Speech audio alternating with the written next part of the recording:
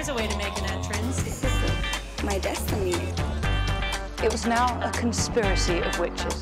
Download Veely today.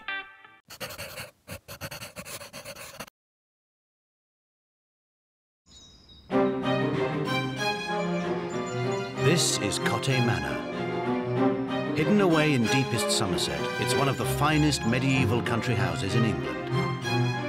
Fifteen years ago, Mary Ann and Alistair Robb bought it as an empty shell. Since then, they've spent all their time and money restoring Cothay. But now it's hemorrhaging cash, causing rifts in the family, and they're running out of time. Can businesswoman Ruth Watson save this national treasure and help secure Cothay's future? A garden. We're not that stupid. But you're not making very much money. Marianne! All right, I'm going, Ruth. I think this is a poison chalice, this house. We would like to die here.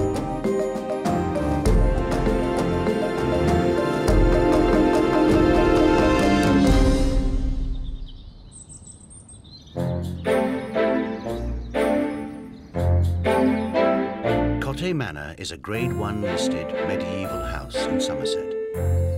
Home to Alistair and Mary Ann Robb since 1993. The couple have spent 15 years working tirelessly to restore the house and its 12 acres of gardens. There was absolutely nothing here whatsoever. Even the cord that holds the light bulbs had been cut off, so it was completely empty and soulless. Cothay is now worth 3.5 million pounds, but restoring it has taken almost every penny they have. It's become their life's work and means the world to them. Underneath this stone is where I would like to have my heart. I've asked the butcher. He's going to cut out my heart, and I'm, uh, I'm going to have a very, very beautiful box made for it. They can only afford to keep their home by opening to the public. With just a skeleton staff to help, the Robbs do most of the work themselves, despite their advancing years. Even when we're not open, you're preparing for the next season. You never stop. There's always something. But it's a way of life. And if you live above the shop, you're always stacking shelves. Even with their best efforts, the business is failing. The house costs £40,000 a year to run, and the gardens only pull in 6,000 visitors. At £4.50 a head, it's at least £13,000 less than they need. One day I'll just drop down dead in the border. I'll run out of puff and that'll be that. Aged 68 and 78 respectively, Mary Ann and Alistair have to start making money soon, or they run the risk of seeing their life's work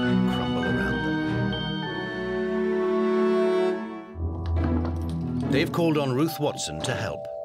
Most British country houses have survived war, economic hardship, and the passage of time, but right now they're under very real threat.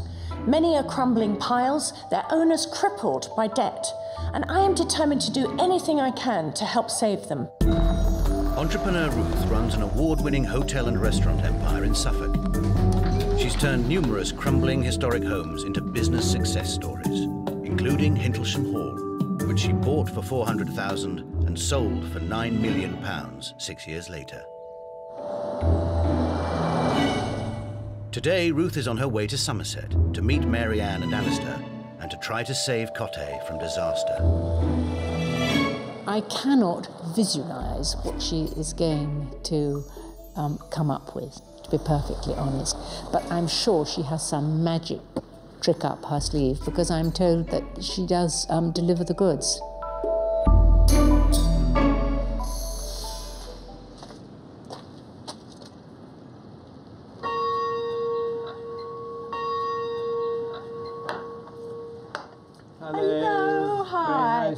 Very nice to you. You're I'm Alistair? Alistair Robb. How do you do? This is Marianne, How do you do? wife.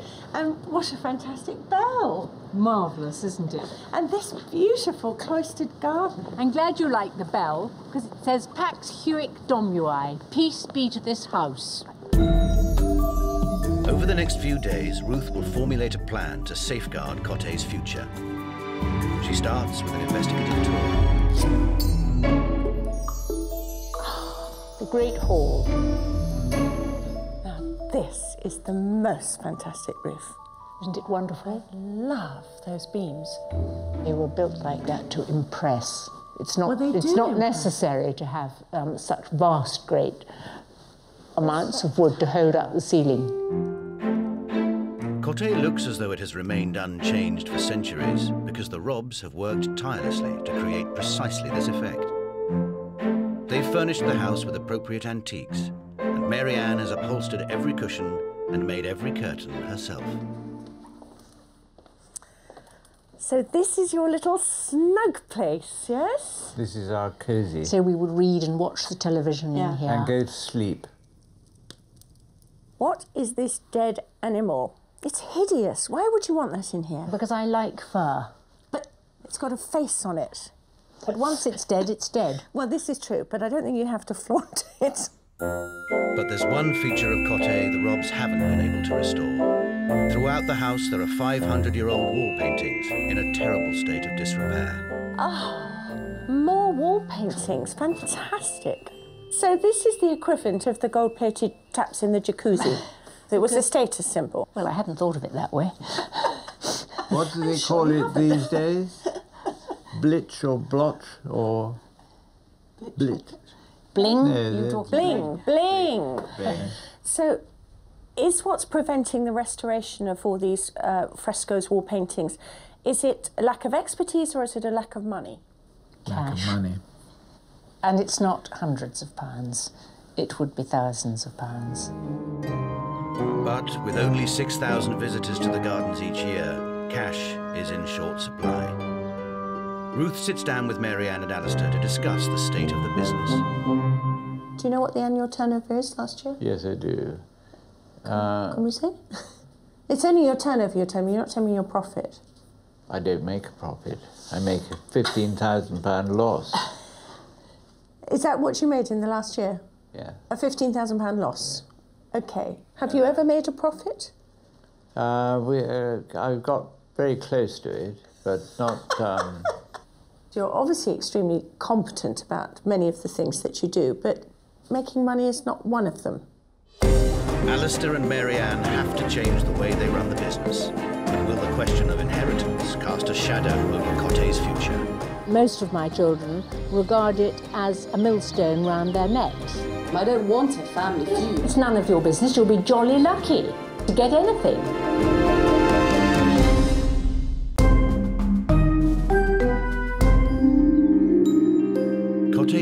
Somerset is home to Alistair and Mary Ann Robb. Built in 1485, seven years before Columbus sailed to America, Cothay is one of the finest medieval country houses in England.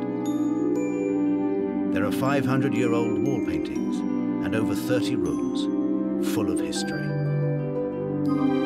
From the great chamber with its splendid oak beams and 14th century oculus window to the oak-panelled dining room in 1605. It's a family home unlike any other. But it's the garden that has proved to be Cothay's greatest asset. Apart from the existing yew hedges, the Robbs have created this magnificent 12-acre garden from scratch in just 15 years. It's now a romantic oasis that entirely complements their medieval manor house. Despite its great beauty, Cothay's future hangs Cothay is a unique medieval house with the most stunning architecture and fabulous interiors. And thanks to the relentless toil of its owners, Alistair and Marianne Ann Robb, it also has the most beautiful gardens. But without their kind of commitment, Cothay would soon lose the reason why it's so special. And I don't think it would be open to the public either. I'm determined to come up with a plan that makes Cothay financially viable so that we can all continue to enjoy it. The Robbs have called on businesswoman Ruth Watson to help them stem their losses. But there's another problem. They have yet to resolve the question of inheritance. If Mary Ann and Alistair don't hand over the house to one of their four children, at least seven years before they die, whoever inherits could face a massive £1 million tax bill. But Mary Ann and Alistair are not yet ready to sign Cothay over. Alistair, you're 78 and Yeah. And 10 years younger. 68. Yes. Do you feel at all that you perhaps should have thought about this a bit earlier? We've Who's been going to thinking inherit? about it all the time. But it's a question of um, doing it. Getting round to it. That's Getting normally the to it. problem with life. Yes. Yeah. Yeah. yes. I mean, it would be wonderful to pass something over to them. One always wants a little bit of history. Um, Or but, and continuity. But even if we had passed it over 20 years ago, mm. what would happen to us? It's our life. Yeah. We would like to die here. Right. Now, the problem with you dying here is obviously little thorny things like inheritance tax, and you wouldn't want to burden your children with debts that they don't need. But I don't think that you should live your lives entirely for your children. They must make their own way. Despite wanting to retain control of Cothay, Alistair and Mary Ann are keen for it to stay in the family. If it was sold, new owners could decide to close the gardens once and for all. But sons Jamie and Matthew have already turned the idea of inheriting Cothay down, and their eldest daughter Arabella has her hands full with her husband's 900-acre estate. Now the Robbs have offered it to Charlie, their youngest daughter, who is visiting from her home in Germany to talk things through. But Charlie's concerned. Her parents haven't told the rest of the family about their offer. But I wouldn't want them to contest the will. I don't want a family feud. but when I think it nobody's going to nobody's going to You know, have a family feud, Charlie. And we haven't even told them that we're doing this. No. And we haven't even you haven't even told them that you suggested this. And I just find that really, really difficult. I find it underhand. No, they I o- offered it to them, and they I know, said but they you didn't haven't want said it. That you've offered it to us. You're worried that your siblings But are going to get upset if you get something and they don't. Yeah, yeah. And I think you do have to, to some extent, um, listen to her on that. But I mean, You know, if, for instance, if we had to sell Cothay for Yes. any reason, we had to sell Cothay, that would be that. And they'd say, right, hold on a second, where's our share? I can't do anything about that. No. Neither of us can. If we leave it to you, we leave it to you. Then it's our problem. well, You'd be dead, you don't care. actually, it's none of your business. You'll be jolly lucky, uh, the others, to get anything. I wasn't too keen on uh, Charlie's outburst. I feel Charlie's making uh, rather a to do about it. A huge amount of fuss about it, in fact. And if you're the lucky one, then you're the lucky one.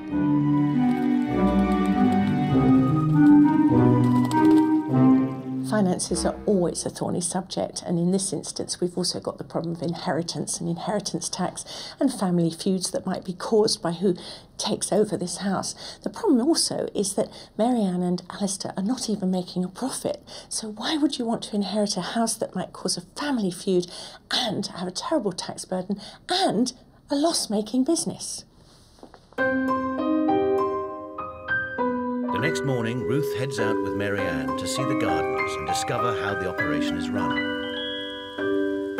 During the season, from May to September, the gardens at Cothay are open, attracting 6,000 visitors a year and bringing in £27,000. There's one thing screaming at me about this garden is it's this is this is not a low maintenance garden, is it? No, I spend every day out here. Every day. at least five hours. I suppose over the years that I've um, come to regard the garden as my life's work. There's a small tea shop in the summer house that only serves tea and scones. On the other side of the lawn, Mary Ann sells plants from outside the greenhouse. It's far from a slick commercial enterprise. What proportion of visitors will come and buy something to take away, do you think? I would like to think that everybody uh, bought a plant, but in uh, practice that doesn't happen. It is possible to avoid this area, though, isn't it? You could miss it. I suppose you could. Mary Marianne has worked for 15 years to create the garden at Cothay. Will she be prepared to learn some new tricks from Ruth? There's absolutely no questioning Marianne's prowess as a plantswoman and gardener. Fantastic, and I love her English eccentricity and that huge strength of character. But I think this might prove a sticking point because what she doesn't understand is this garden has got to be more commercial and it doesn't mean besmirching its integrity. Clearly, the garden could be making more money. But could the Robbs be exploiting the manor as well? Ruth heads off to explore on her own. I'm sorry, there is a dead animal on the floor here. Divine little room, this, but I find it very difficult to walk over this animal. The Robbs occasionally allow small pre-booked groups to tour the house, but visitors to the garden are not allowed in. I didn't get to see this with Marianne. It's another amazing room. The other thing is so intriguing. There's so many entrances and exits and little staircases. It's a real labyrinth.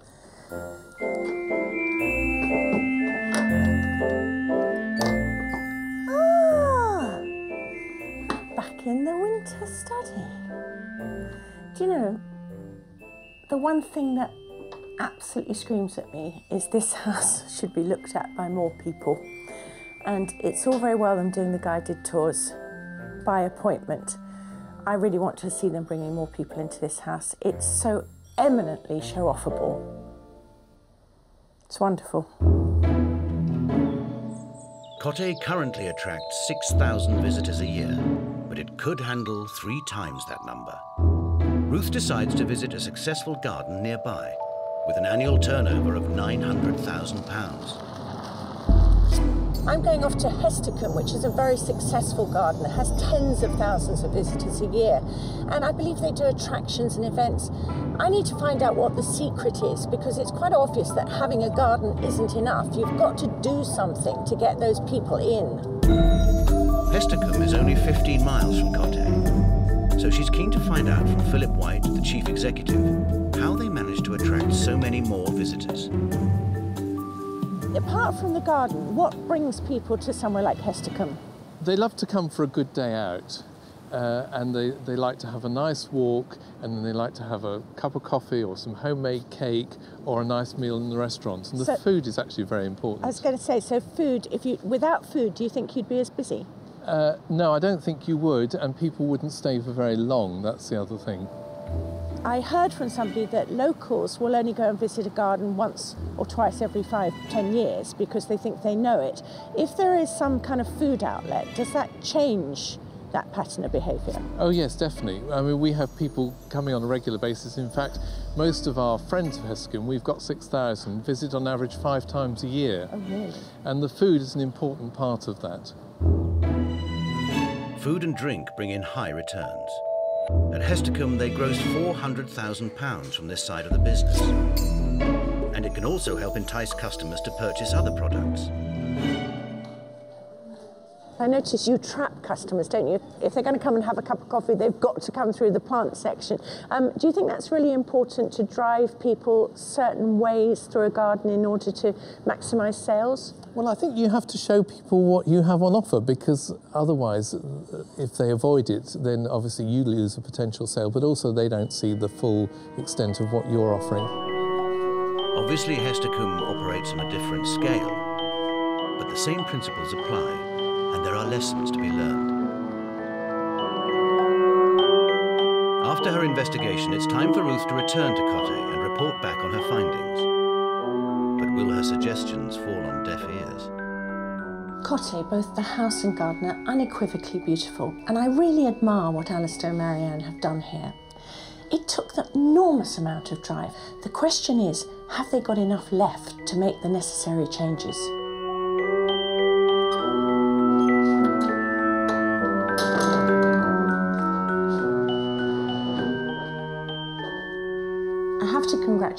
On a beautiful house and a fantastic garden. The problem is that it's not commercially successful. What I've learnt is that you absolutely have to give people a reason for coming here. It's got to be a day out.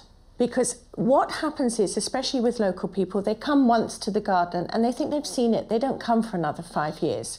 What I'm going to suggest is that you make a calendar of events and that brings people in because something is always different, something's changing. In May, it's tulip fortnight. In June, this is what's happening. You know, there's roses are out. And oh, look, they've got a jazz picnic every last Sunday in the month. And I truly, utterly believe that you can turn your annual figures into something so much better. I mean, you could quadruple them without any problem whatsoever. Next up, Ruth wants the Robbs to make it easier for people to spend money. At most public gardens, visitors have to go through the plant section to get to the tea shop, which encourages sales at both. At Cothay, these areas are quite separate. Food is incredibly important. This comes up. Look, you're raising your eyebrows. What I've discovered is that quite a lot of people actually come for the tea. They're having a day out. They come and have some tea or lunch or whatever it is and then sort of think, oh, well, I might go around the garden as well. The other thing that really ties in with this, and I've heard it called, it's a wonderful expression, the sheep dip factor. Before people got their cup of tea, they were funneled through an area where they had to go through the plant sections, where they had to look and stop and think, oh, I'd like a bit of lavender or whatever. Because once you've got them here, you should not be letting them go until you've made the maximum amount of revenue from them. And that has got to be food, it's got to be plants, and I believe it's got to be the house as well. As it stands, you can only tour the house if you have booked ahead as part of a group. But Ruth thinks they should make it more accessible. The house is every bit as important as the gardens. You can double, triple the amount of people who come through this house. And that means double, triple the amount of money that you take. And I think it's such an easy way to make revenue. You've already got them here, yeah. you know? Yeah. I, I, I consider, I think you're, you're right. Charlie, what do you think? Personally, I wouldn't want it to be everyday work. I wouldn't want it to be like that because I'd start resenting it, I think. Also, this is a family house and mm. family come to stay. What, Charlie, if you think that's important, you are going to be in real trouble if yeah. you want to take this house on. Because if you think that your life is going to be more important than having customers in, there's no way you're going to make an income out of this house and garden. Finally, the tricky issue of inheritance and the problem of what will happen to Cothay after Marianne and Alistair die.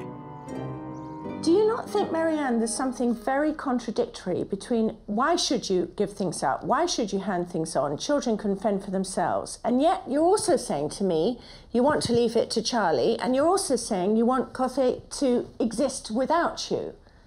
It, it's not a totally yes. coherent argument. Yes, I can, see, I can see what you're getting at there's something kind of, if I'm being kind, I'd say careless, and if I'm being unkind, I'd say almost calculated to make the most amount of trouble by not doing anything sooner than you have done. You know, you could stay here and just decay, and the gardens could decay around you when you got to a state where you couldn't be out there every day.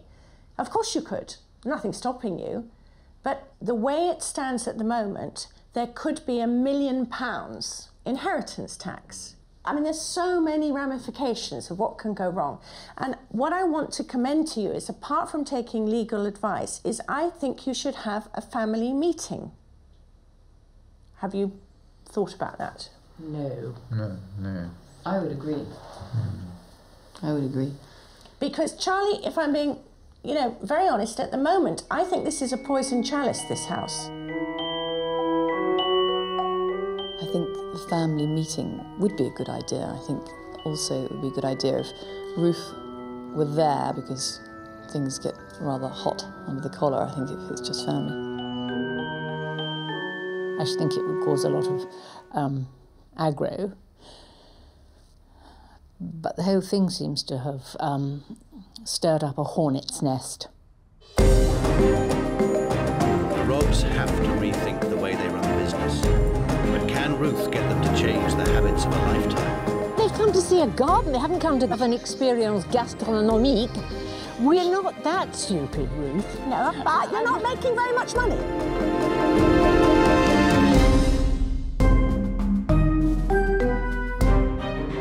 Cothay Manor is in financial trouble, and Ruth Watson has been drafted in to help save the business. It's another amazing room. It's two months since Ruth's last visit, she ruffled some feathers. Ruth said she thought, to my amazement, that it was a poisoned chalice. How can anybody um, live in such a wonderful part of the world and think of it as a poisoned chalice? I think that that is quite extraordinary. It's May. The gardens are finally open for the season, and the Robbs have their hands full with visitors. I enjoy um, being open to the public. I get terrible withdrawal symptoms in the winter. Um, I miss the buzz. The Robbs have already embraced one of Ruth's ideas. And it all starts in 1309. As well as the existing pre-booked tours, the Robbs are now opening the house to people visiting the garden. But Alistair is finding the extra work exhausting. Otherwise, very little has changed. They've done nothing to link the tea room with the plant sales area to increase revenue. Ruth thought that we could triple our plant sales. Um, she's obviously never tried to sell plants. The public are extremely fickle. We'll do a huge amount of what we sold last year, only to find next year that we're left with them at the end of the season, which is absolutely maddening. Then we have to have a sale. Ladies and gentlemen, do come and collect your coffee or your tea, or it'll get terribly cold. Ruth is slightly scathing about our tea rooms. Now, Ruth says that the most important thing in any enterprise is the food, but uh, I, I, don't actually agree with her. Um, but um, I know food is becoming increasingly popular. So, you know, we do our best. This is not a hotel, it's a garden. Marianne is concerned that making Cothay more profitable might compromise her beautiful garden. The garden is the gardener's dream. And when you look at National Trust houses, they have so often lost their soul. And they have much the same air. There's no spirit about them, no, no feel about them. Everybody who comes here says there's a lovely feel. But the financial implications of Marianne's idealism are clear to everyone who visits. It could be a bit more commercial, but if it was, that would take some of the charm away, I would think. I'm sure they could make a lot more money if they had everything set out a bit more professionally, but maybe they don't want to do that. I don't know. And perhaps that is the, the charm of it Yep. all. It begs the question as to what the future holds for so many places, family Mm. run places, for the long term. And whatever happens, one hopes that such places will remain part of our heritage. But it's an open question. It's two months since Ruth's first visit, and she's back to convince the Robbs that Cothay can be made more profitable without losing its charms. Nice to see you again. But Marianne is still resistant. Making money doesn't seem to be part of the equation. When the sun comes out, all the tables come out and people sit about here. When we spoke last time, because I was trying to engage you with the idea of having what they call a sheep dip, which is where you make people have um, their tea, lavatories, and buy plants in a very small area so that they can't escape. And um, this obviously is a very pretty area, but you could escape buying plants if you came here. Ruth, this is a garden. I know, It, I it, know, it but isn't we a want to make town. some money. N- Yes, we do, but we don't want to spoil it. But if you take somewhere like Sissinghurst or one of the great gardens that you would perhaps. But that's love. National Trust, Ruth, and they've got millions and millions at am- their I- disposal. look, I am not advocating you spend money that you haven't got in areas that would be pointless. What I am saying is that once they're here, what you want is them to come back again. And the way you get people to return, it's by providing the service and the product that people want. They don't come to a garden to go to the loo, as a friend of mine said. Well, no, but they do come to gardens to go and have tea, that's for sure. And then they need the loo because they've had the tea. But they've come to see a garden. They haven't gone, come to go to the lavatory or have an experience gastronomique. We're not that stupid, Ruth. No, but you're not making very much money. When Ruth was last here, youngest daughter Charlie had been offered the chance to inherit Cothay. But she's since decided she's not ready to commit. My biggest worry is that I don't have the energy or the knowledge that my parents have, and possibly even the character. Ruth wants to find out from Alistair how this has affected their plans. Do you think there's going to be a resolution within the family ranks as to what the best thing to do is? There is, everybody knows what's going to happen, or they. I didn't even know what's going to happen. I thought I knew what was going to happen, Right. but now I don't. so, um,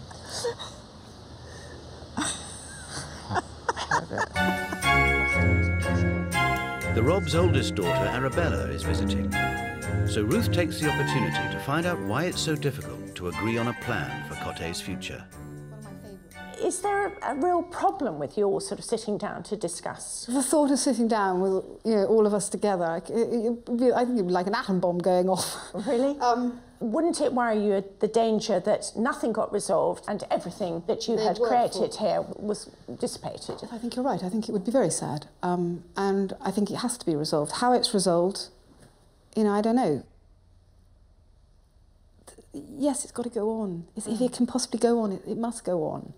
For everybody's sake, for everybody who's come here, for everybody who's loved it, for everybody who wants to see it in the future, it is a national treasure. And my parents have created this. Every single piece of upholstery in this house, mm. she has upholstered. Every single pair of curtains in this house, she has made. Mm. This is what keeps them young. this Yeah, no, place. no, I mean, absolutely. It's I unbelievable what they agree do. with that. Yes. It's, it's terrifying. Clearly, the whole family are passionate about Cothay. But nobody seems to have the solution to its future. I can and I do admire Marianne and Alistair's hard work and creativity. They have made something incredibly special at Cothay, there's no doubt about it. Unfortunately, the solution to Cothay, not only short term in how they raise visitor numbers and long term in who's going to inherit it, cannot be approached in such an emotional manner. Because at the moment, everybody is just crossing their fingers and hoping, effectively, that Ma and Pa aren't going to die. Time is of the essence. Ruth wants Marianne and Alistair to face up to the future. What bothers me is every single person that I've spoken to have said, this place is special, this place is magical, this has to remain, it has to flourish, it has to be beautiful, all these things.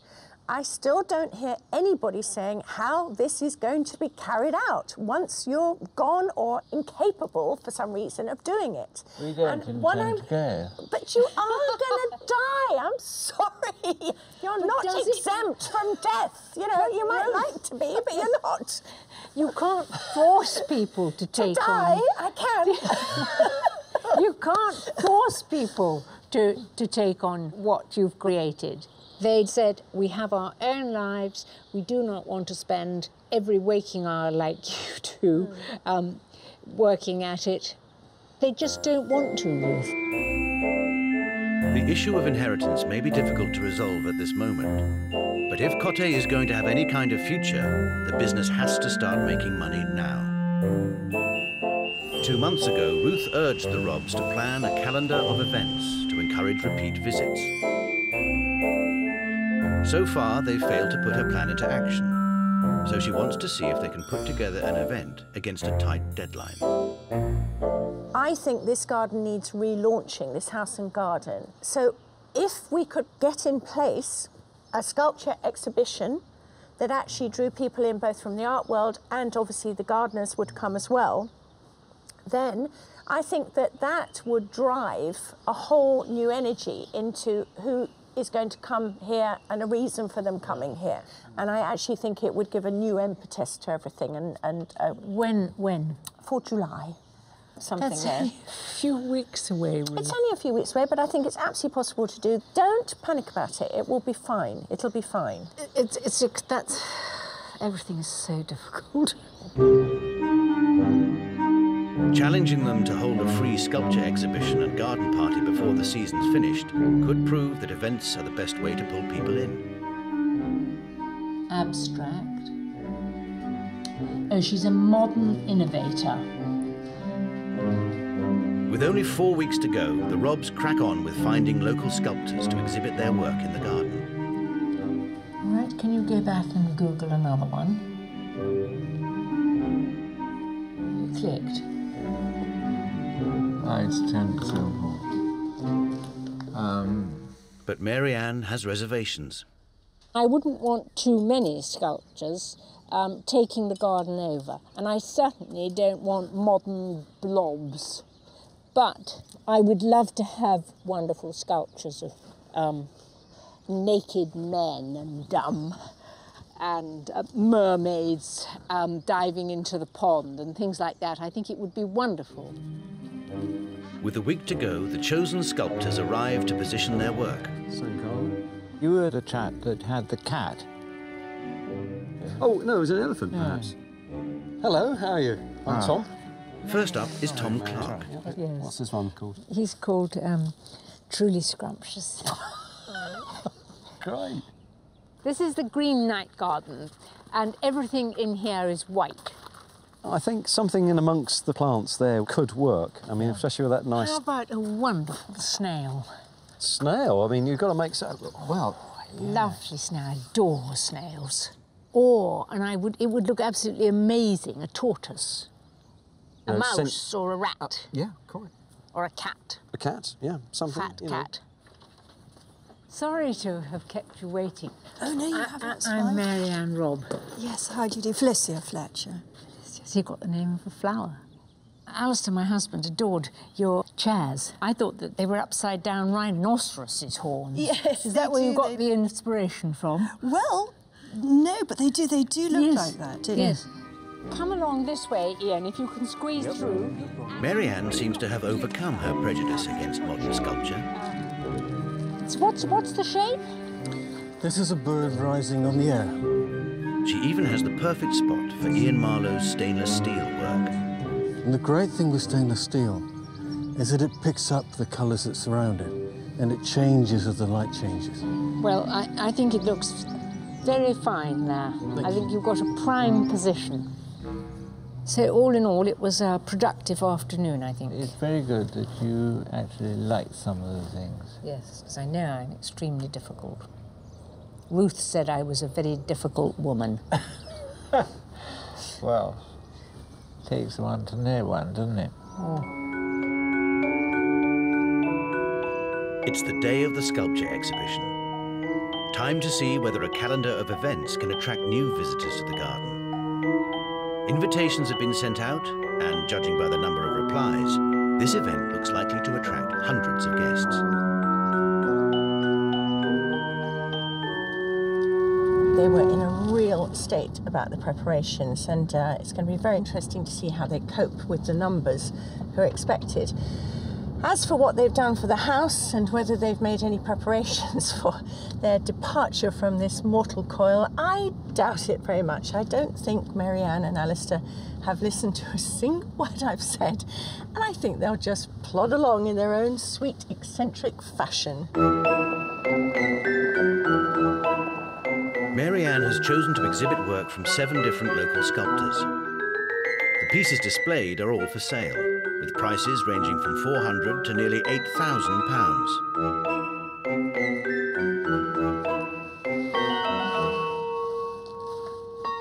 Hello, Marianne.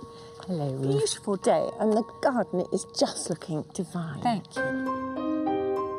How do you feel, generally speaking, about the sculpture in the garden? I mean, are you pleased with the concept? Yes, I am. I'm, I'm very pleased. I'm, I'm much more pleased than I thought I would be because it hasn't cluttered the garden Yeah. up. Are you okay for the party? Absolutely. Yes, indeed. You're We're it. all sort of ready. Good. With just a few hours left before hundreds of invited guests arrive, there's a lot to prepare. Ruth lends a hand.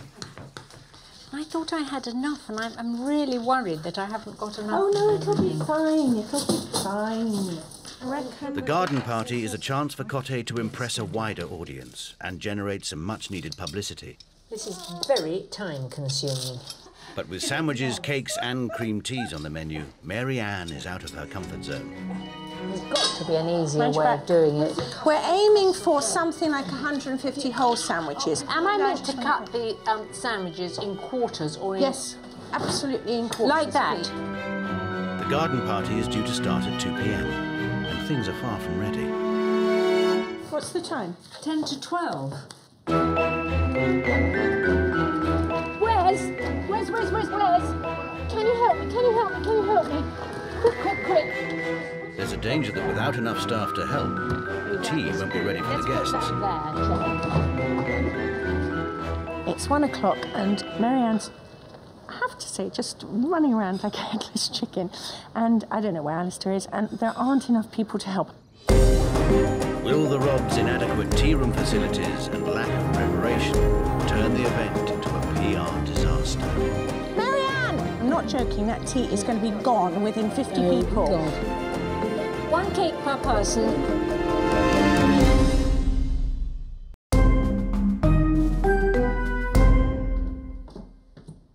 It's the day of Cothay Manor's free sculpture exhibition and garden party. After a last-minute scramble, the food is ready. The event is underway and the guests are enjoying the gardens and the sculptures. So far, Mary Ann has resisted the notion of making her gardens more commercial. Have a lovely afternoon. But businesswoman Ruth Watson is hoping today will prove that a calendar of events can bring more visitors to the gardens and give them a reason to return. and palmers for to seek a stranger strands, to fair and Instead of their daily average of 15 visitors, the Robbs are expecting hundreds of guests, including the local tourist board. Mary Ann has always been convinced that people come to see the gardens, not for the food or an experience gastronomique. But after a brief look at the sculptures, most of the visitors are heading straight for the free cakes and sandwiches. The cracks in the organisation are starting to show. Well, at least these buckets are looking at the garden, not eating the sodding tea. Marianne! Right, um, no, no, everyone's pouring in, which is lovely. A lot of people are just doing a very short circuit of the garden in order to get to the free tea when they're already coming back for more. Yeah. I'm not joking, that tea is going to be gone within 50 Oh, people. God. Should I go for a bit? I was worried because the last time I got, I was there, there was nobody there. Oh, there are people there, believe me. Marianne takes control and drafts in the whole team to help serve the guests. Assistant Natalie, daughter Arabella, granddaughters Daisy and Emily, tour guide Avril, Chemick the gardener, and Ruth. This is, this is not quite as elegant presentation doing this as I had anticipated, but No, one cake per person and take some sandwiches. I'm sorry, otherwise we'll run out. There we are. you see, that's what I love about Marianne. She's even ruder than I am. people here. Food rationing in hand, the next problem is a paper plate shortage. Paper plates are get some required. paper plates. Urgently, don't get distracted. Do not get distracted. No, all right. Straight there, straight back. Have you had any tea all Yes, of you? thank you very much, yes. And some strawberries. Yes, indeed. I got to go. I've been told to go and get some more plates. Marianne! All right, I'm going, Ruth. Today's free event is all about promoting Cothay's charms. But with this many visitors on an ordinary day, they could have made £900 on food alone.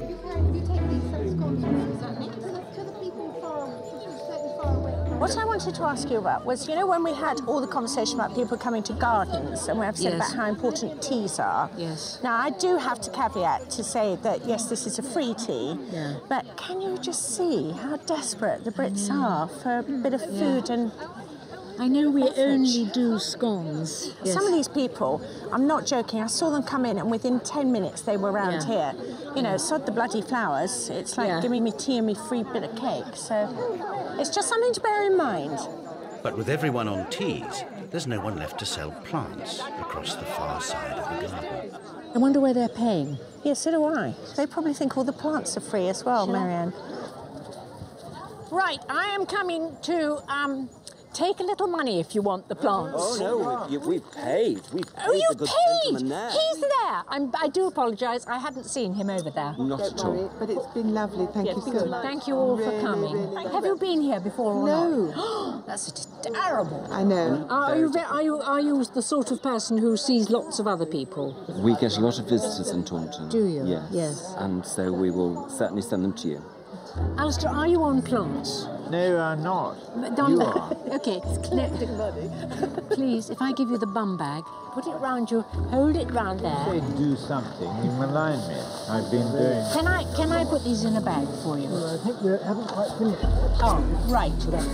I'm more. Oh, for God's sake, hold that. I'll be back with a seat for you to sit on.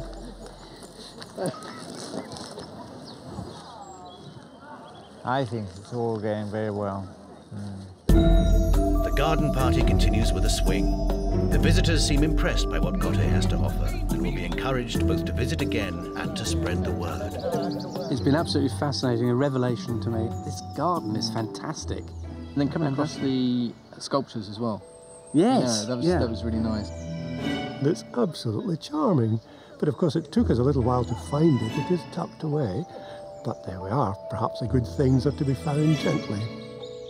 Lots of interesting things going on, and that's great because if you want people to come here, have lots of interesting things happening. It is unique. With more events like this in their calendar, the Robbs should soon be able to get their business on track. All that remains is for Ruth to have one final word with Alistair and Mary Ann. I want to say thank you very much for having me here. This is the most stunning place, I have to say. It gets more beautiful every time I come. And I think you've got a lot of potential customers out there who don't know about you. And I think that you can easily get more people in. Then you actually can afford to budget for staff as well. Then you can have some time off, enjoy it yourself. And I think it can work. I really do. Oh, Ruth, you're being so nice. I thought you were going to give me such a rocket. we have taken on an awful lot of what you said, and you have been a help. Your ideas about having events, absolutely super. And we are slowly, slowly going to do most of what you said. I want to say something to you uh, out of great affection, which is I think you're utterly incorrigible, the both of you, but I also think you're completely delightful. And I'm very glad the world has you in it. You know, I want to get a notice, you know, in 30 years' time to say Marianne Robb has just quietly passed away in the Clem- clematis. I've already gone before that, I think. um, and, uh, and know that you, you lived out your days here. You are this place. There's no doubt about it. You've made it what it is. You love doing it. And, you know, I think bloody good luck to you.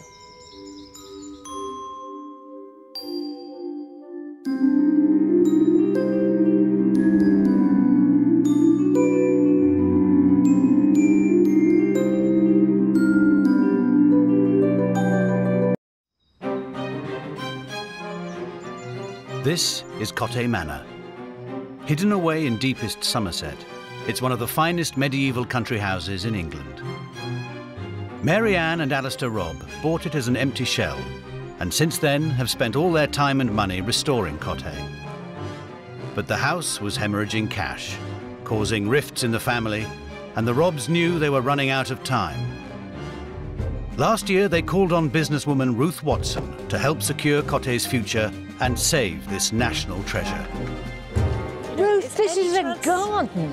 We're not that stupid. No, but you're not making very much money. Marianne! All right, I'm going, Ruth. One year on, have the Robbs done anything Ruth suggested? I'll do the chocolate cake bit. What's happened about the calendar of events? Oh dear, I hoped you wouldn't ask about it.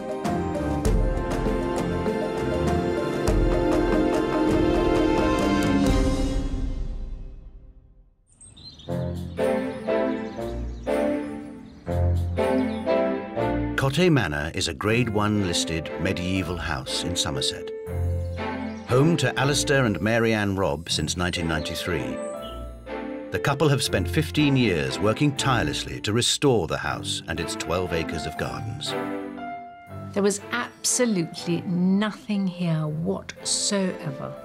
Even the cord that holds the light bulbs had been cut off, so it was completely empty and soulless. Cothay is now worth 3.5 million pounds, but restoring it has taken almost every penny they have. It's become their life's work and means the world to them. Underneath this stone is where I would like to have my heart. I've asked the butcher. He's going to cut out my heart, and I'm, uh, I'm going to have a very, very beautiful box made for it. They can only afford to keep their home by opening to the public. With just a skeleton staff to help, the Robbs do most of the work themselves, despite their advancing years.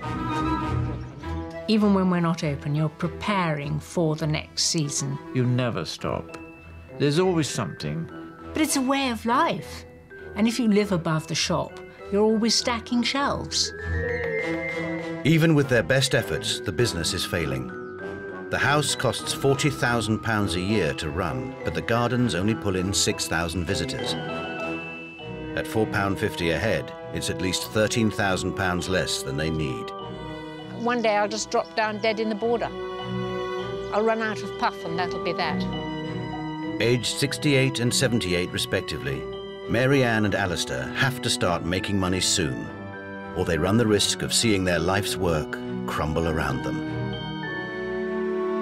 Ruth has come to Somerset to meet Marianne and Alistair and to try and save Cothay from disaster.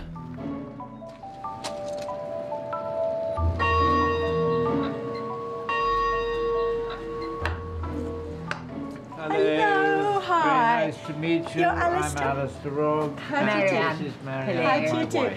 And what a fantastic bell. Marvellous, isn't it? And this beautiful cloistered garden. I'm glad you like the bell, because it says Pax Huic Domui, peace be to this house. Over the next few days, Ruth will formulate a plan to safeguard Cothay's future. She starts with an investigative tour. The Great Hall. Now, this is the most fantastic roof. Isn't it wonderful? I love those beams. They were built like that to impress. It's not, Well, it's not impress. necessary to have um, such vast, great amounts of wood to hold up the ceiling. Cothay looks as though it has remained unchanged for centuries because the Robbs have worked tirelessly to create precisely this effect. They've furnished the house with appropriate antiques, and Mary Ann has upholstered every cushion and made every curtain herself. So this is your little snug place, yes? This is our cosy. So we would read and watch the television Yeah. in here. And go to sleep. But there's one feature of Cothay the Robbs haven't been able to restore.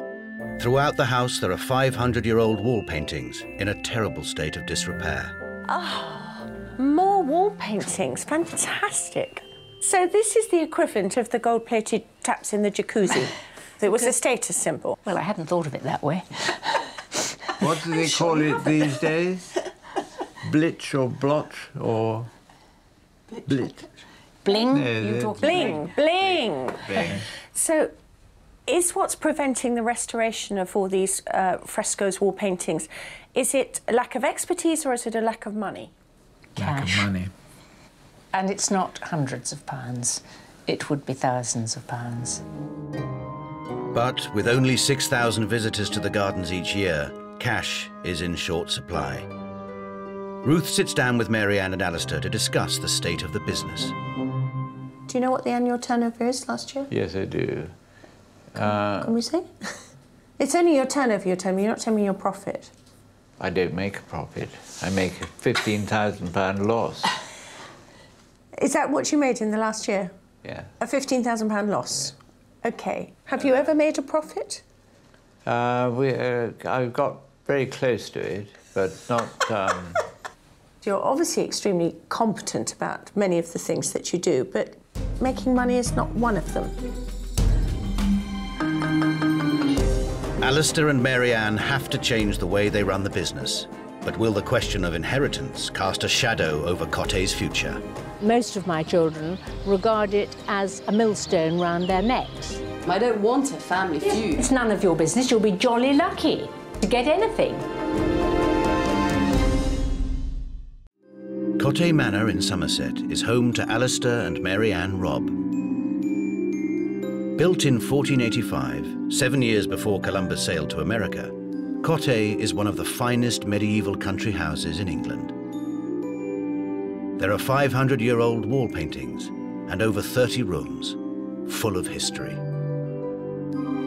From the great chamber with its splendid oak beams and 14th century oculus window, to the oak-panelled dining room added in 1605. It's a family home unlike any other. But it's the garden that has proved to be Cothay's greatest asset.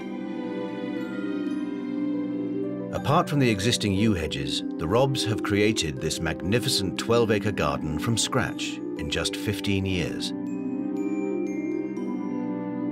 It's now a romantic oasis that entirely complements their medieval manor house.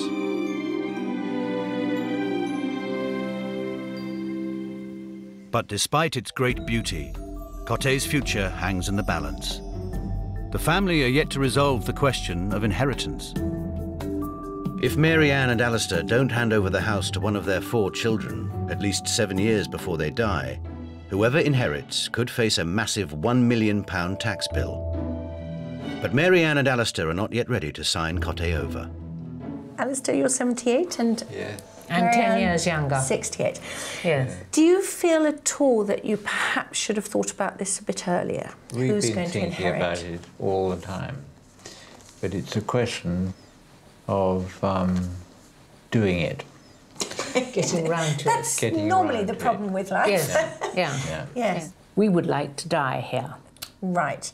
Now, the problem with you dying here is obviously little thorny things like inheritance tax, and you wouldn't want to burden your children with No. debts that they don't need.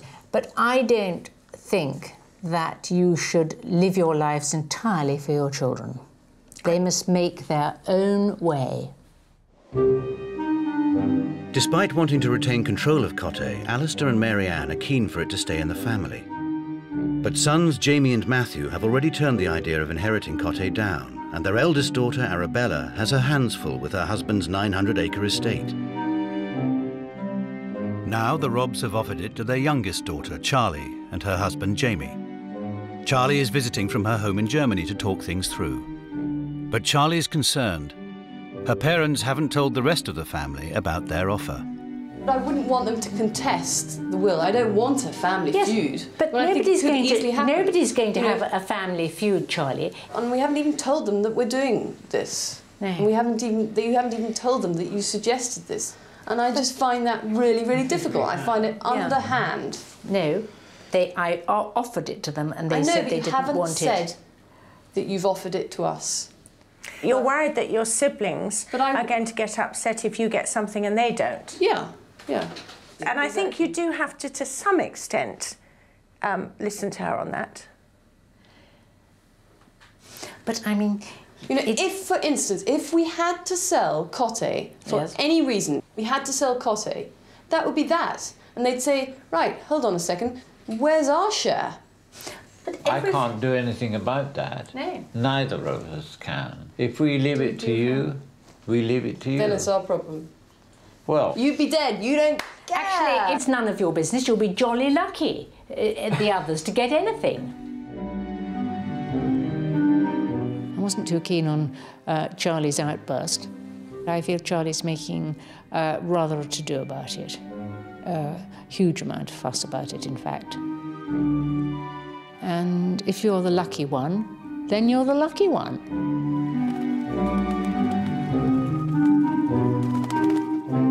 Finances are always a thorny subject, and in this instance, we've also got the problem of inheritance and inheritance tax and family feuds that might be caused by who takes over this house. The problem also is that Marianne and Alistair are not even making a profit. So, why would you want to inherit a house that might cause a family feud and have a terrible tax burden and a loss making business?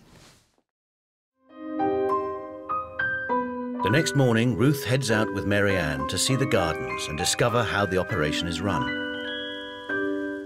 During the season, from May to September, the gardens at Cothay are open, attracting 6,000 visitors a year and bringing in £27,000. There's one thing screaming at me about this garden is it's this is this is not a low maintenance garden, is it? No, I spend every day out here. Every day. At least five hours. I suppose over the years that I've um, come to regard the garden as my life's work. There's a small tea shop in the summer house that only serves tea and scones. On the other side of the lawn, Mary Ann sells plants from outside the greenhouse. It's far from a slick commercial enterprise. What proportion of visitors will come and buy something to take away, do you think? I would like to think that everybody uh, bought a plant, but in uh, practice that doesn't happen. It is possible to avoid this area, though, isn't it? You could miss it. Well, I suppose you could. yeah. Marianne has worked for 15 years to create the garden at Cothay. Will she be prepared to learn some new tricks from Ruth?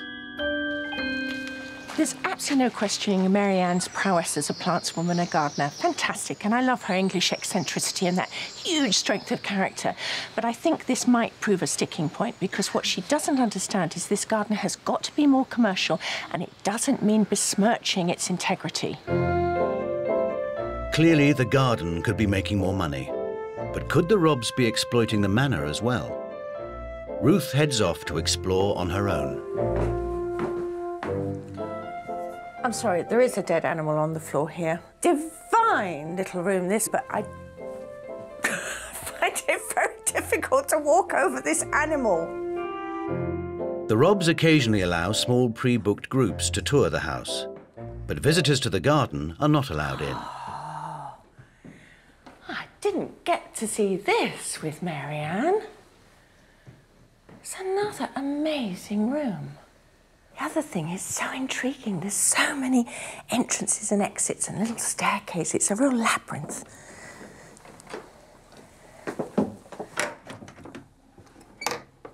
Ah, back in the winter study.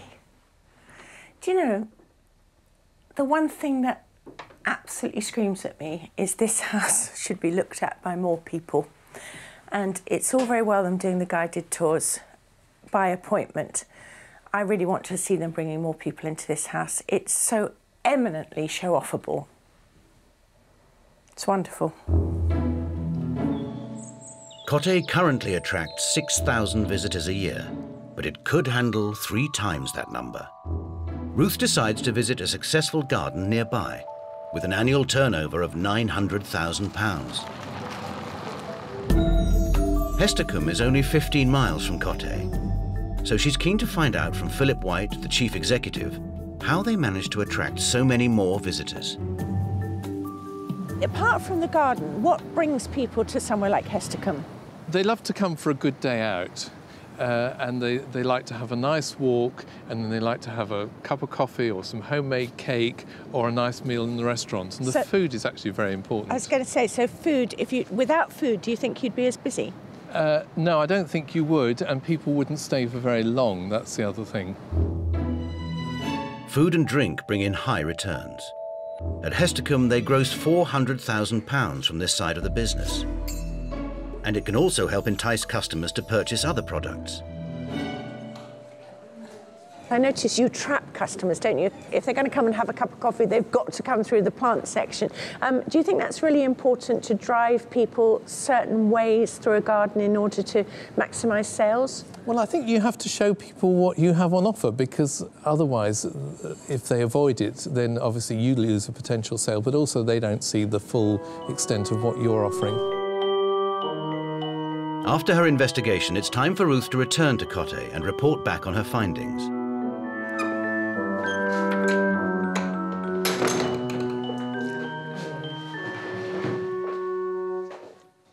I have to congratulate you on a beautiful house and a fantastic garden.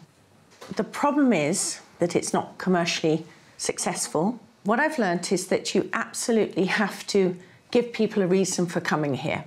It's got to be a day out. Because what happens is, especially with local people, they come once to the garden and they think they've seen it. They don't come for another five years. What I'm going to suggest is that you make a calendar of events and that brings people in because something is always different, something's changing. In May, it's tulip fortnight. In June, this is what's happening. You know, there's roses are out. And oh, look, they've got a jazz picnic every last Sunday in the month. And I truly, utterly believe that you can turn your annual figures into something so much better. I mean, you could quadruple them without any problem whatsoever. Next up, Ruth wants the Robbs to make it easier for people to spend money. At most public gardens, visitors have to go through the plant section to get to the tea shop, which encourages sales at both. But at Cothay, these areas are quite separate. Food is incredibly important. This comes up, look, you're raising your eyebrows. What I've discovered is that quite a lot of people actually come for the tea. They're having a day out. They come and have some tea or lunch or whatever it is, and then sort of think, oh, well, I might go around the garden as well. The other thing that really ties in with this, and I've heard it called, it's a wonderful expression, the sheep dip factor.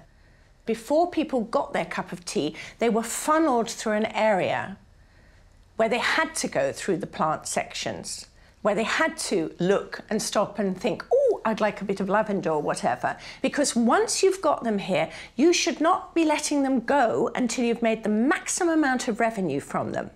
And that has got to be food, it's got to be plants, and I believe it's got to be the house as well.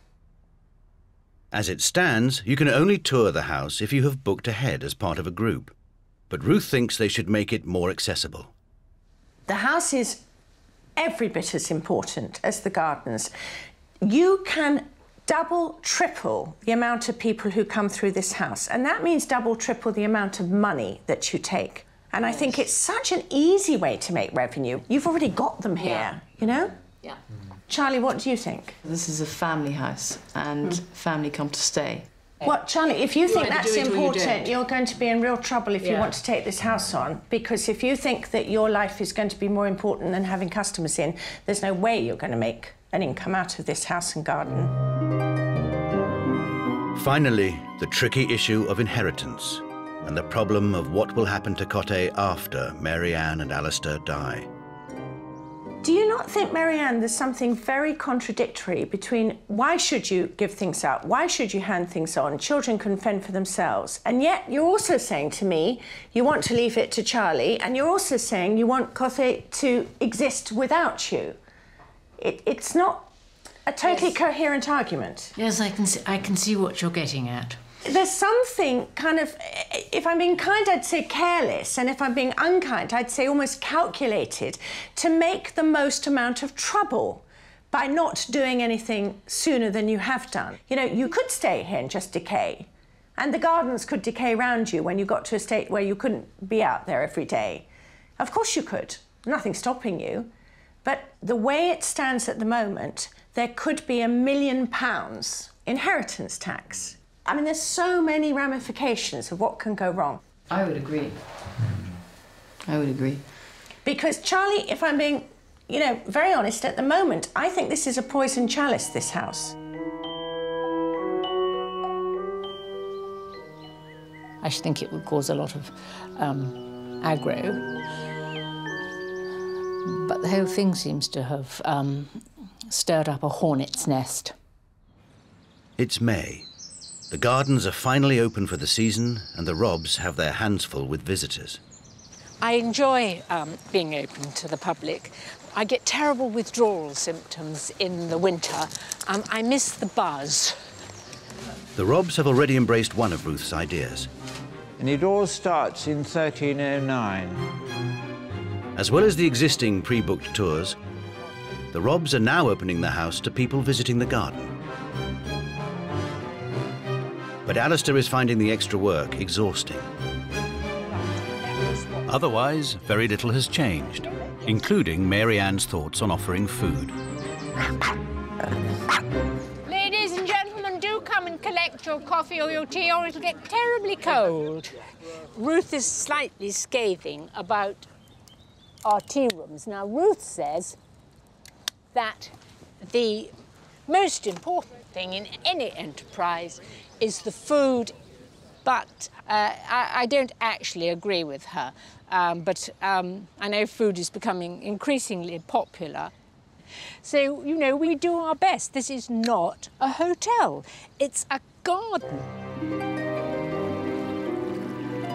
Marianne is concerned that making Cothay more profitable might compromise her beautiful garden. The garden is the gardener's dream. And when you look at National Trust houses, they have so often lost their soul. And they have much the same air. There's no spirit about them, no, no feel about them. Everybody who comes here says there's a lovely feel.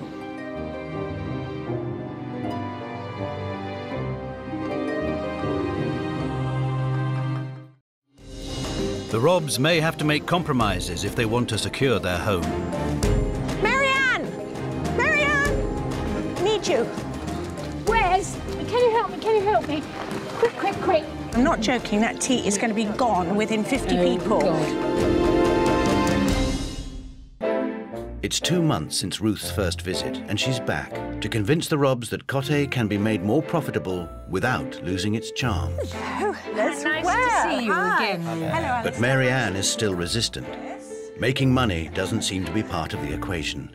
When the sun comes out, all the tables come out and people sit about here. When we spoke last time, because I was trying to engage you with the idea of having what they call a sheep dip, which is where you make people have um, their tea, lavatories and buy plants in a very small Yes. area so that they can't escape. And um, this obviously is a very pretty area, but you could escape buying plants if you came here. You know, Ruth, is this is a garden. I know, It, I it, know, it but isn't we a want town. to make some money. N- yes, we do, but we don't want to spoil it. But if you take somewhere like Sissinghurst or one of the great gardens that you would perhaps. But that's love. National Trust, Ruth, and they've got millions and millions at am- their I- disposal. look, I am not advocating you spend money that you haven't got in areas that would be pointless. What I am saying is that once they're here, what you want is them to come back again. And the way you get people to return, it's by providing the service and the product that people want. They don't come to a garden to go to the loo, as a friend of mine said. Well, no, but they do come to gardens to go and have tea, that's for sure. And then they need the loo because they've had the tea. But they've come to see a garden. They haven't gone, come to go to the lavatory or have an experience gastronomique. We're not that stupid, Ruth. No, uh, but you're not making very much money. When Ruth was last here, youngest daughter Charlie had been offered the chance to inherit Cothay. But she's since decided she's not ready to commit. My biggest worry is that I don't have the energy or the knowledge that my parents have, and possibly even the character. Ruth wants to find out from Alistair how this has affected their plans. Do you think there's going to be a resolution within the family ranks as to what the best thing to do is? There is, everybody knows what's going to happen, or they. I didn't even know what's going to happen. I thought I knew what was going to happen, Right. but now I don't. so, um,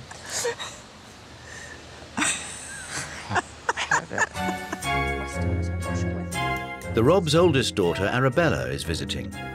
So Ruth takes the opportunity to find out why it's so difficult to agree on a plan for Cothay's future.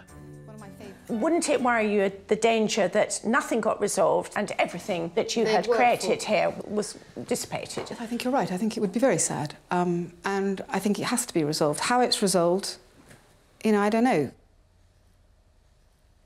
Yes, it's got to go on. It's- If it mm. can possibly go on, it, it must go on. Mm. For everybody's sake, for everybody who's come here, for everybody who's loved it, for everybody who wants to see it in the future, it is a national treasure. And my parents have created this. Every single piece of upholstery in this house, mm. she has upholstered. Every single pair of curtains in this house, she has made. This is what keeps them young. this Yeah, no, no, place. I mean, absolutely. It's unbelievable Totally what they do. with that. Yes. It- it's, it's terrifying. Clearly, the whole family are passionate about Cothay. but nobody seems to have the solution to its future. I can and I do admire Marianne and Alistair's hard work and creativity. They have made something incredibly special at Cothay, there's no doubt about it. Unfortunately, the solution to Cothay, not only short term in how they raise visitor numbers and long term in who's going to inherit it, cannot be approached in such an emotional manner. Because at the moment, everybody is just crossing their fingers and hoping, effectively, that Ma and Pa aren't going to die. Time is of the essence.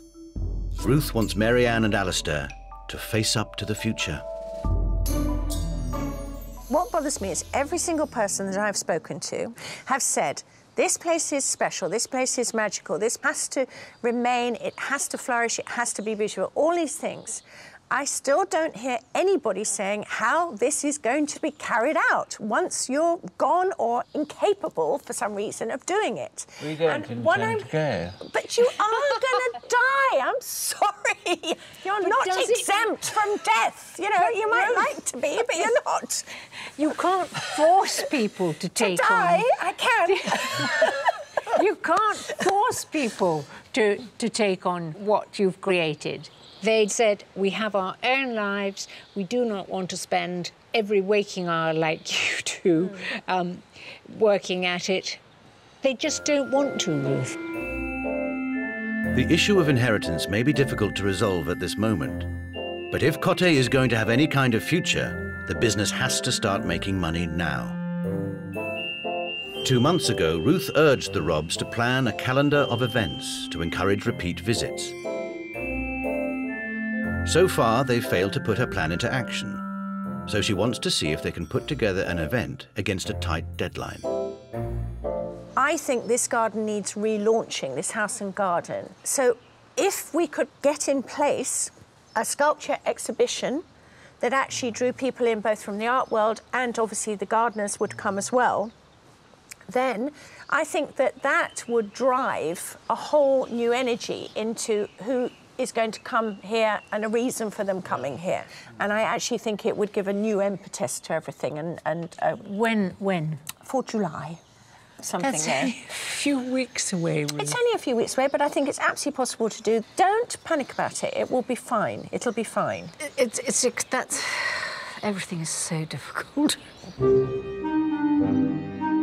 Challenging them to hold a free sculpture exhibition and garden party before the season's finished could prove that events are the best way to pull people in. Abstract. Oh, she's a modern innovator. With only four weeks to go, the Robbs crack on with finding local sculptors to exhibit their work in the garden. All right, can you go back and Google another one? You clicked? Ah, it's turned itself on. Um, But Marianne has reservations. I wouldn't want too many sculptures um, taking the garden over, and I certainly don't want modern blobs. But I would love to have wonderful sculptures of um, naked men and dumb and uh, mermaids um, diving into the pond and things like that. I think it would be wonderful. With a week to go, the chosen sculptors arrive to position their work. St. Carlo? you were the chap that had the cat. Oh, no, it was an elephant, Yeah. perhaps. Hello, how are you? I'm Ah. Tom. First up is Tom Clark. Yes. What's this one called? He's called um, Truly Scrumptious. Great. This is the Green Night Garden, and everything in here is white. I think something in amongst the plants there could work. I mean, especially with that nice How about a wonderful snail? snail. I mean, you've got to make so.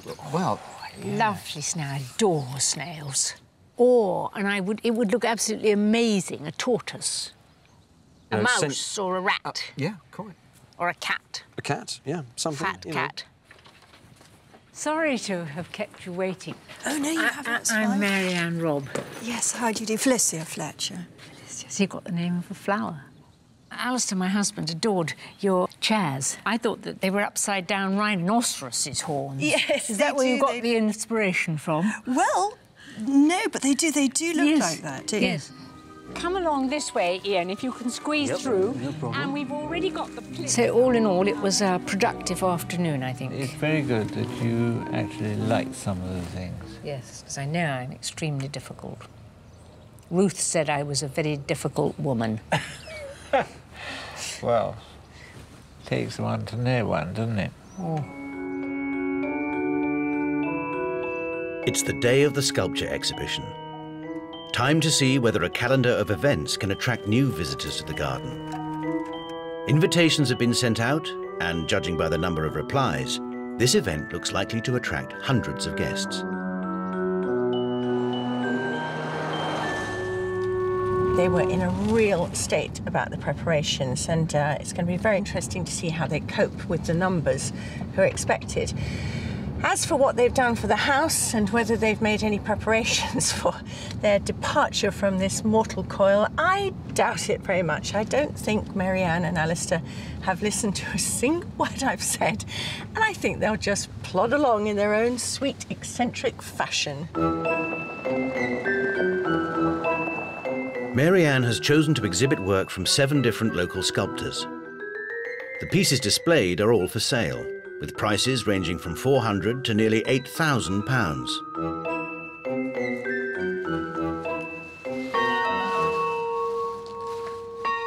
Hello, Marianne.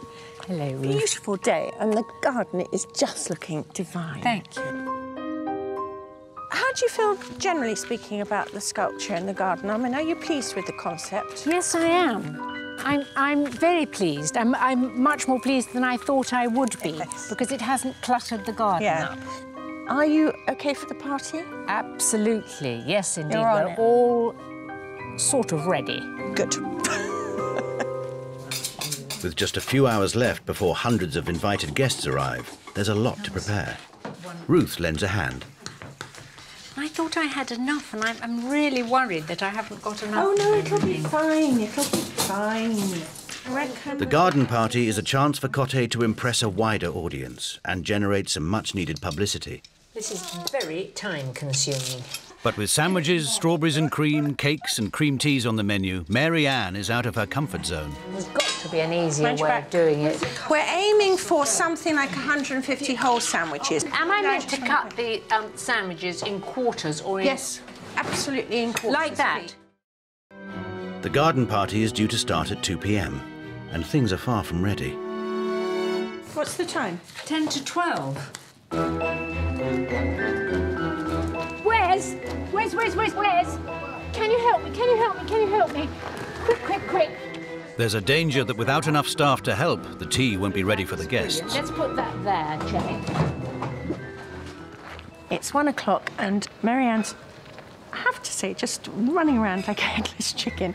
And I don't know where Alistair is, and there aren't enough people to help. The food is late and the guests are arriving in droves. In spite of the Robbs' prediction that food is no draw, the guests are quick to take up the offer of a free lunch. Marianne! Marianne! Need you. Right, um, no, no, everyone's pouring in, which is lovely. A lot of people are just doing a very short circuit of the garden in order to get to the free tea. And they're already coming back for more. Yeah. I'm not joking, that tea is going to be gone within 50 Oh, people. God. Should I go for a bit? I was worried because the last time I got I was there, there was nobody there. Oh, there are people there, believe me. Marianne takes control and drafts in the whole team to help serve the guests. But no, one cake per person and take some sandwiches. I'm sorry, otherwise we'll run out. There we are. You see, that's what I love about Marianne. She's even ruder than I am. bunch people here. Food rationing in hand, the next problem is a paper plate shortage. Paper plates I'm are gonna get some more required. paper plates. Urgently, don't get distracted. Do not get distracted. No, all right. Straight there, straight back. Have you had any tea, all Yes, of you? thank you, Brad, yes. And some strawberries. Yes, indeed. Thank you. I got to go. I've been told to go and get some more plates. Marianne! All right, I'm going, Ruth.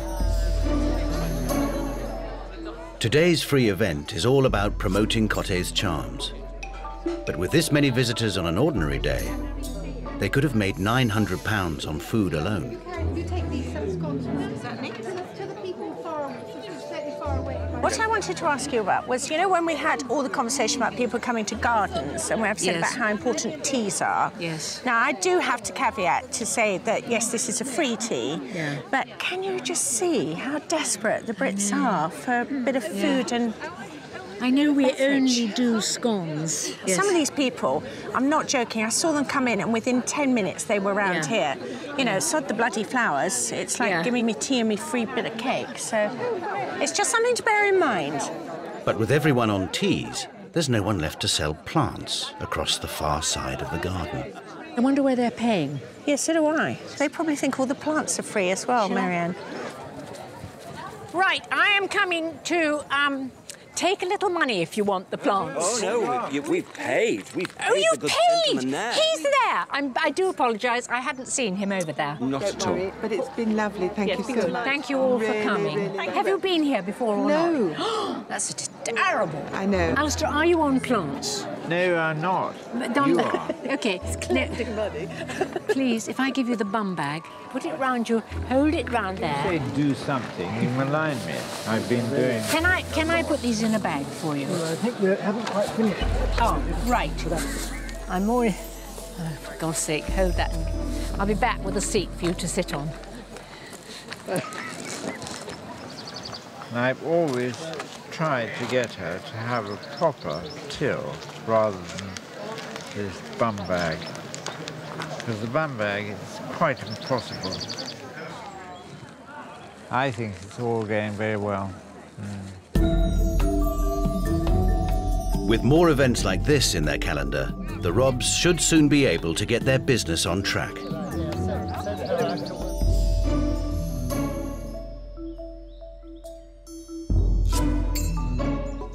Want to say thank you very much for having me here.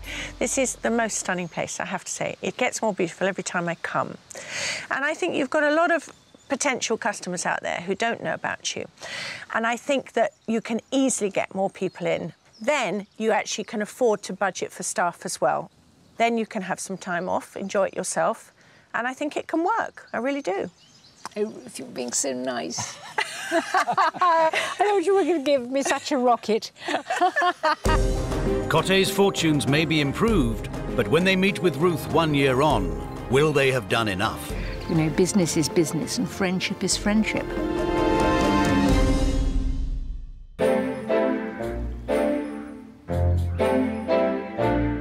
One year on, and the Robbs have finally put Ruth's plan into action. They've built a new tea room, three times the size of the last one, and introduced a sizable menu with lunches, afternoon teas, and specialty coffees. But Cothay has lost none of its charm.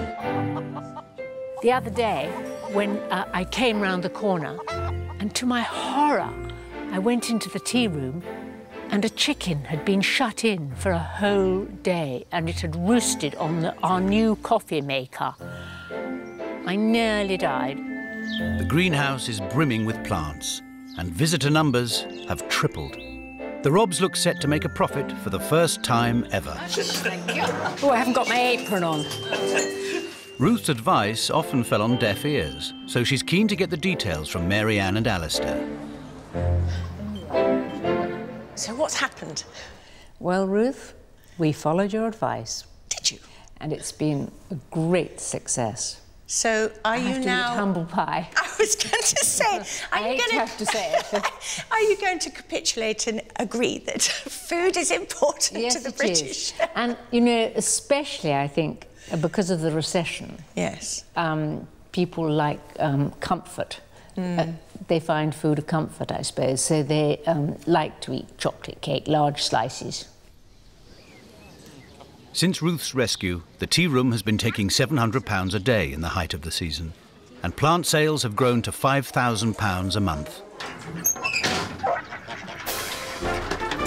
With visitor numbers increasing from 5,000 to almost 16,000, the Robbs will make a healthy profit instead of their usual £15,000 loss. Well, good afternoon, ladies and gentlemen, boys and girls, and welcome to Claire Whiteley's Sheepdog and Farmyard Display. The Robbs have been shelling out for one-off events, though unfortunately they've not been as successful as they had hoped.